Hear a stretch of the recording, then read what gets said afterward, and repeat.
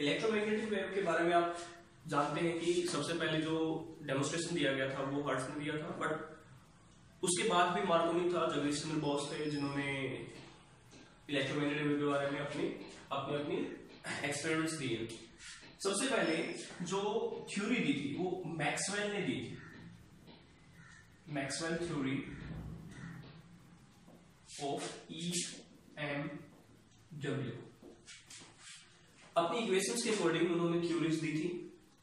सबसे पहले हार्ट्स ने उनको मॉडिफाई किया था। Six metre long first E EMF wave generate करके बट मार्कोनी ने दो points point A point B जिनकी डिस्टेंस थी 50 kilometre.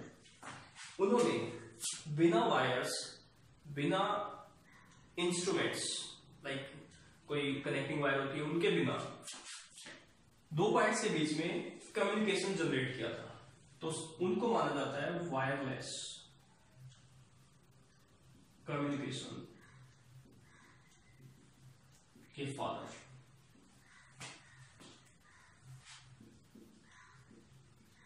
father of wireless communication, जो कौन है?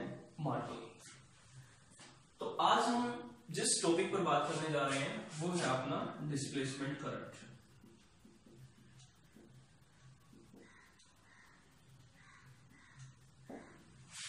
ओके तो इसको स्टडी करते हैं? डिस्प्लेसमेंट करंट और इलेक्ट्रोमैग्नेटिक वेव की, जो कि हमें दिया था मैक्सवेल ने। बट मैक्सवेल ने सिर्फ़ थ्योरेटिकल ही दिया सबसे पहले जो अपने पास इलेक्ट्रोमैग्नेटिक वेव की जनरेशन हुई प्रोडक्शन हुई, वो हर्ट्स ने की थी 1865 के अंदर। नाउ मैक्सवेल ने जो हमें इक्वेशंस दी, वो इक्वेशंस क्या थी? मैक्सवेल ने हमें चार इक्वेशंस दी थी, जो मॉडिफाइड फॉर्म थी एम्पियर सर्किट लॉ के लिए थी लोरेंस फोर्स के लिए थी, वो इलेक्ट्रोमैग्नेटिक इंडक्शन के लिए थी। सबसे पहले जो मैक्सवेल ने हमें दिया था Maxwell theory of EM wave वो उन्होंने दिया on the behalf of displacement current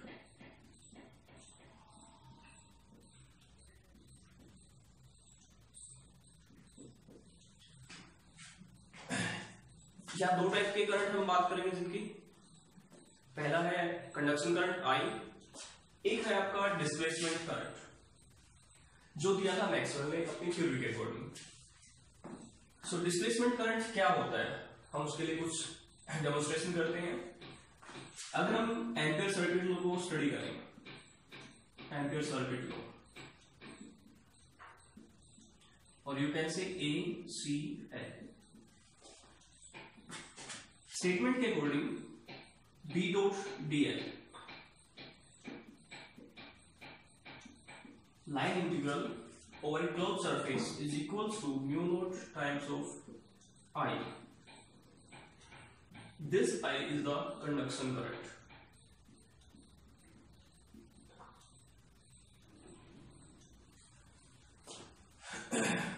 Maxwell ने बताया कि एम्पियर सर्किट लॉ इनकंसिस्टेंट होता है मींस वो हर जगह पर वैलिड नहीं है कैसे ओके फिगर वन के अंदर this is the figure one figure one के अंदर यहाँ हमें एक वायर लेनी है जिसको कनेक्ट करना है बैटरी के साथ और कैपेसिटर्स वहाँ पे कनेक्ट करने हैं। इस वायर के लिए एक पॉइंट लेते हैं हम आर दिस पॉइंट आर जो स्मॉल आर डिस्टेंस पर एग्जिस्ट करता है। सो so, एक इमेजिनरी सर्कल हमें यहाँ पे मिलेगा जिसको हम मान के चलते हैं सरफेस वन इस सी वन सरफेस के लिए कितना मैग्नेटिक फ़ील्ड होगा? इस करंट की वजह से। वो हमें फाइंड आउट करना है। Current is I it move from positive to negative okay so using this law ampere circuit law और using equation one we have D dot D L equals mu naught into I since direction of current is in the direction of surface so angle will be zero. Cos zero equals to mu naught into i and b into integration of dl equals to 2 pi r for this loop. 2 pi r equals to mu naught into i. So b equals to mu naught into i upon 2 pi r. This is for figure 1. Now for the figure 2, Maxwell ने same experiment को एक other surface के लिए एक cylindrical surface और you can say lunch box type जो एक tiffin होता है अपना उसके लिए जो दोनों साइड से ओपन था नाउ वायर्स जो है वो अपने सिलेंड्रिकल सरफेस के एक्सिस के अलोंग ट्रेवल कर रही है। सो करंट भी उसके अंदर से जाएगा। इट मीन्स कि हमारे पास जो सिलेंडर होगा, उस पर कोई करंट नहीं होगा। तो for surface two this one C2 as I is equals to 0 so B dot dl equals to mu naught into 0 it means B equals to 0 so magnetic field for surface C1 is this mu naught I upon 2 pi r but magnetic field for the surface C2 is zero. हालाँकि जो equation हमने use किए वो same equation use किए but result हमें different मिला है एक के लिए आपको रिज़ल्ट मिलता है mu naught I upon two pi एक के लिए ज़ीरो मिलता है।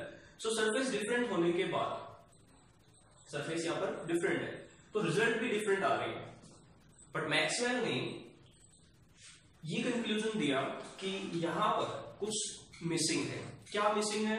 वही पता करने के लिए उन्होंने अपनी इक्वेशंस को जनरेट किया। सो so, हमने दोनों एक्सपेरिमेंट से ये पता किया कि एम्बे सर्किट लो एक सरफेस के लिए जो अपने पास पास जो सरफेस था सर्कुलर उसके लिए जो मैग्नेटिक फ़ील्ड आया अपना mu naught I upon two pi R आता है। और सेम चीज़, हम दूसरे सरफेस के लिए अगर बात करें सिलेंड्रिकल सरफेस के लिए, उसके लिए अपना बी इक्वल्स टू ज़ीरो आता है। इट मीन एसीएल के अंदर एम्पर सर्किट लॉ के अंदर कुछ चीज़ मिसिंग है। और वो चीज़ क्या मिसिंग है? वो मिसिंग है चीज़ की जो क्या बताएगी हमें वो दोनों सरफेसेस के लिए, दो या दो से ज़्यादा कोई भी हम सरफेस अगर लेते हैं, उनके लिए वो रिज़ल्ट सेम देगी। तो वो चीज़ जो मिसिंग थी वो हमें फाइंड आउट करनी है। मैक्सवेल ने उस चीज़ को फाइंड आउट किया। कैसे फाइंड आउट किया? देखिए। ये अपना एक कैपेसिटर है जो हमने यूज़ किया था उस डेमोस्ट्रेशन के लिए।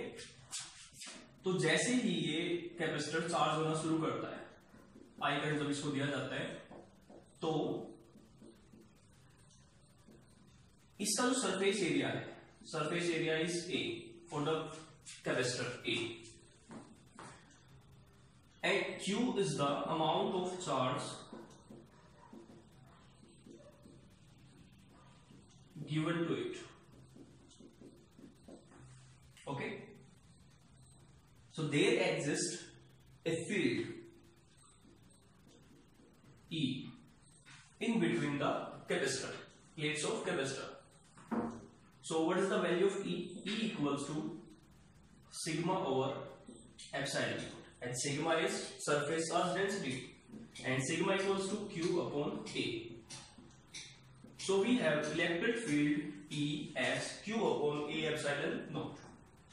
Now, with instant of time or with the passage of time, this electric field changes and the electric field, change in electric field produce the flux.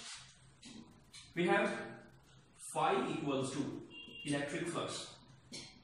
E dot A. For any condition EA goes 0 phi E equals to what is the value of E?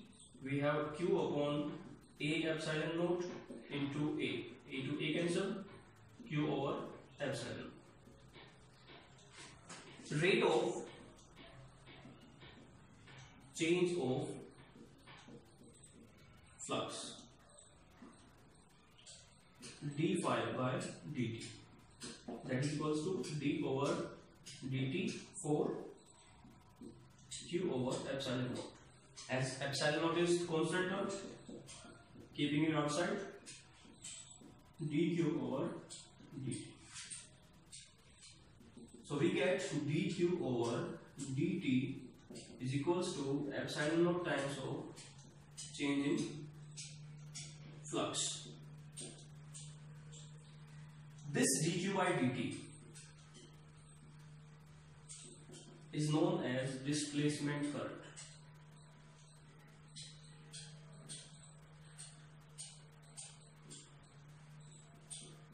I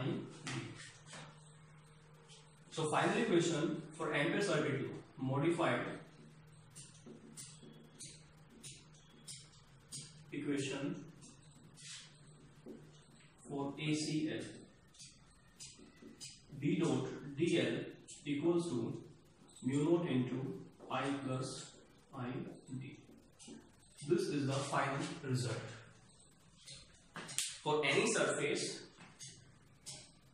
if magnetic field is zero for the conduction current, then there will be exist a magnetic field due to the displacement current or vice versa. This was the Maxwell displacement current. So Definition for the displacement current will be displacement current is that current which comes into play in the region where electric field and electric flux changes with respect to time. And the mathematical expression is ID equals to epsilon naught into d phi by dt. And modified Ampere circuit law or known as the Maxwell Ampere's law is B dot dl equals to mu naught i plus id equals to mu naught into i plus epsilon naught into d phi by dt. So this is our displacement current and the whole history. Thank you.